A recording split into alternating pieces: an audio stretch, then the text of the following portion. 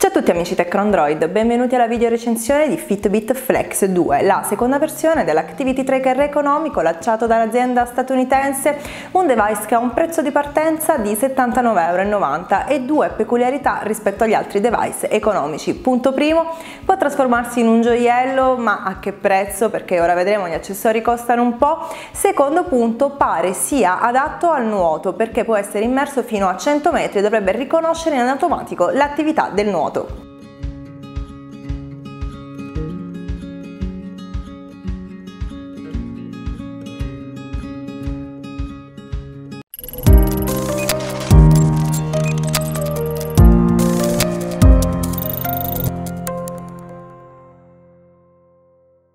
A livello estetico, per quello che riguarda il corpo dell'Activity Tracker, è davvero irrisorio sia il peso sia la dimensione proprio del dispositivo.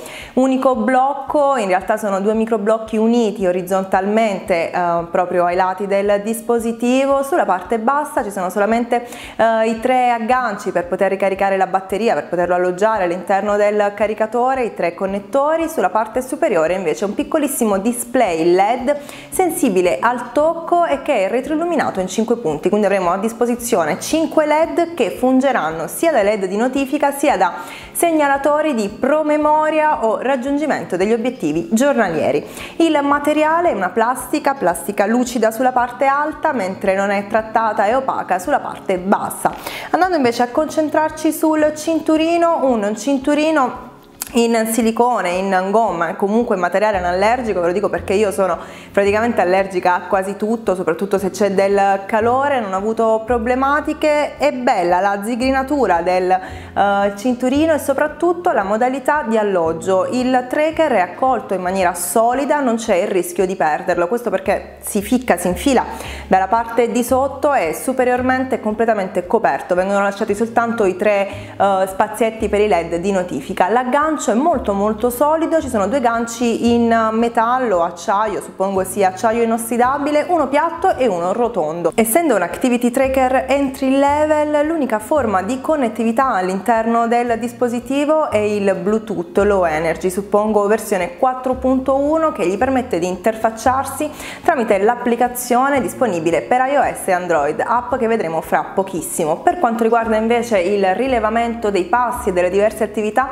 ci affidiamo guidiamo unicamente all'accelerometro a tre assi, questo va a rimarcare quanto effettivamente sia economico questo activity tracker, quanto sia entry level. Quello che principalmente possiamo fare con questo activity tracker è rilevare il conteggio dei passi e da qui poi vanno a crearsi altre funzionalità, vanno a essere rese disponibili altre funzionalità e anche il, mm, il monitoraggio del sonno. Non c'è alcun rilevamento di battito cardiaco perché manca il sensore. Partire dall'attività dell'accelerometro che dovrebbe essere in grado di riconoscere tutte le attività sportive che andiamo a svolgere, quelle chiaramente supportate, ci sono una serie di feature aggiuntive grazie all'applicazione per iOS e Android. Ad esempio c'è il calcolo delle calorie bruciate che ovviamente si aiuta anche con il nostro profilo, quindi peso, altezza e eh, sesso, poi possiamo ricevere dei promemoria quando siamo troppo inattivi in modo da poter recuperare in qualche modo e tutti i dati vengono rielaborati in modo da poter avere sempre un'idea chiara di cosa abbiamo fatto durante il giorno quando siamo stati più attivi.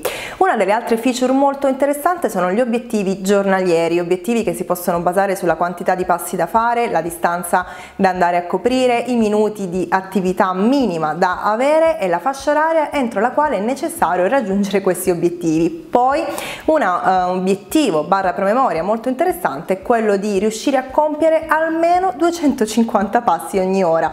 Se questo per esempio non avviene, qualche minuto prima che scocchi l'ora il dispositivo inizia a vibrare per ricordarcelo. La vibrazione infatti è l'unico uh, segnale che è in grado di emettere questo dispositivo, sia per quanto riguarda la segnalazione degli obiettivi e dei promemoria, sia per quanto riguarda la segnalazione delle notifiche. Questo smart band infatti riesce a segnalare le chiamate in entrata e i messaggi, però attenzione, messaggi soltanto un'app di messaggi messaggistica istantanea alla volta. Ovviamente per ricevere le notifiche è fondamentale che il terminale sia attaccato in Bluetooth al dispositivo e questo potrebbe influire sulla autonomia energetica. Effettivamente sincronizzando solo uno o due volte al giorno Fitbit Flex 2 con la sua applicazione sono riuscita a fare più o meno 3 giorni, 3 giorni e mezzo senza doverlo ricaricare. Invece con connettività costante sono riuscita a sfiorare i due giorni. La ricarica della batteria che è interna di questo dispositivo si fa con un piccolo caricatore che è bene attaccare al computer o magari a un caricatore con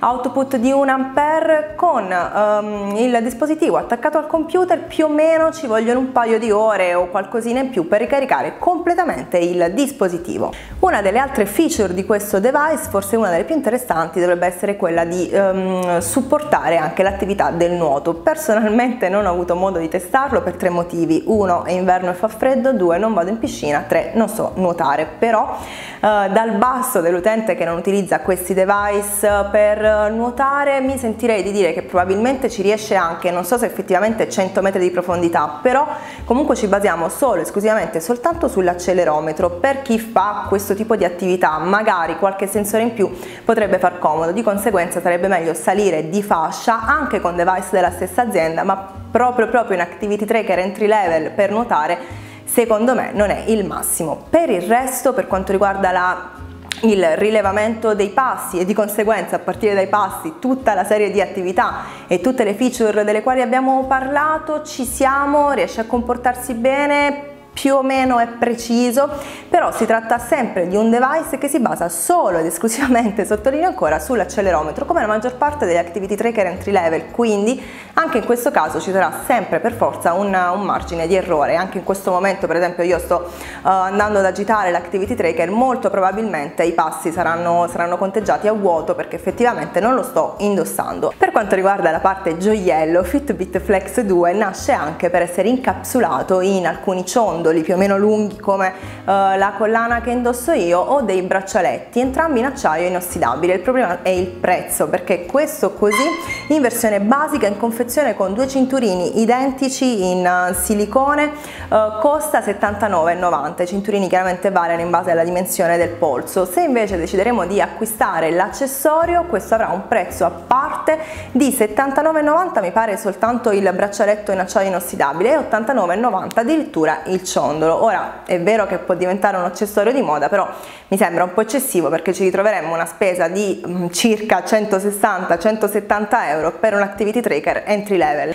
Considerazioni finali su questo dispositivo. Io personalmente l'ho testato con lunghe passeggiate e un po' di attività aerobica all'aperto. Riesce effettivamente a riconoscere il tipo di attività, eh, riesce a tenere traccia dei passi con i limiti dei quali vi ho parlato, quindi l'accelerometro, anche la rilevazione del sonno è piuttosto precisa, dando un'occhiata ai grafici più o meno mi, eh, mi ci trovo, mi ci riesco ad orientare, mi piace la connessione rapidissima con il dispositivo, inoltre l'applicazione l'applicazione comunica, visto che dobbiamo registrarci e quindi avere i dati a disposizione in cloud sempre, comunica tramite email quando ad esempio la batteria dell'Activity Tracker sta per scaricarsi, una feature aggiuntiva parecchio interessante. Infatti sottolineo che secondo me l'app veramente ben fatta è un plus, è il plus principale di questo Activity Tracker. Resta però la questione prezzo, siamo sui 79,90 euro a meno, ci sono produttori che offrono uh, dispositivi simili e molto spesso spesso dotati anche di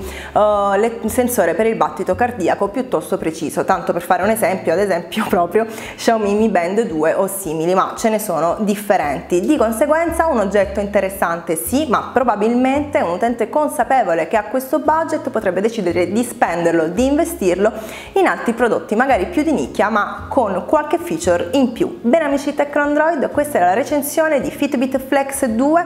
Io come al solito vi ringrazio per l'attenzione e vi do appuntamento al prossimo video. Ciao a tutti!